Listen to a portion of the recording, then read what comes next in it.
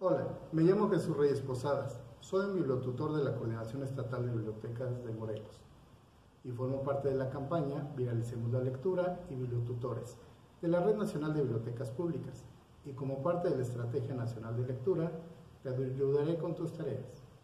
En este video te hablaré del tema A la casa del mamut y el descubrimiento de Lucy, que forman parte del bloque 1 de la materia de historia de sexto año de primaria.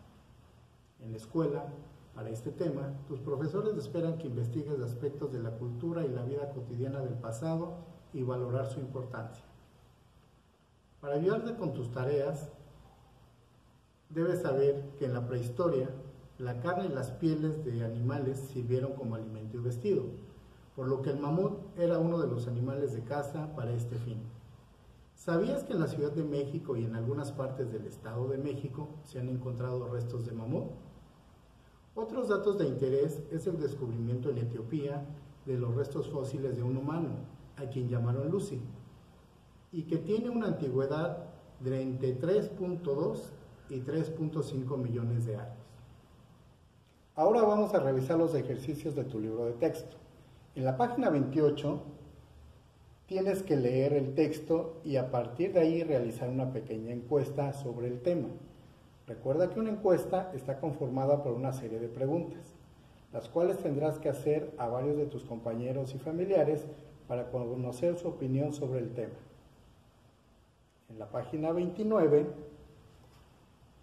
te piden realices una investigación para conocer más datos sobre Lucy y con base en lo que descubras debes realizar un relato histórico sobre ella. ¿Ves? Tus tareas son muy sencillas y para ayudarte un poco más te doy tres consejos. Primer consejo, lee con atención la información que te presente el libro. Consulta en el diccionario las palabras que no conozcas.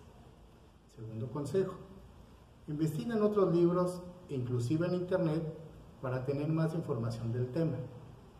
Tercer consejo, cuando realices tu tarea, trata de no distraerte con la televisión o con algún otro dispositivo electrónico. También te recomiendo que consultes los siguientes libros que podrás encontrar en tu biblioteca pública y facilitarán tu tarea. Primera recomendación. La vida de los animales prehistóricos. Los ubicas en la colección infantil en la clasificación I560H34 1984. Segunda recomendación. Animales extintos se encuentran en la colección infantil en la clasificación I591.04B87. Tercera recomendación, el hombre primitivo localizado en la colección infantil con la clasificación I572B37. Muchas gracias por seguirnos en estos videos. Soy tu bibliotutor Jesús Reyes Posadas, nos vemos pronto.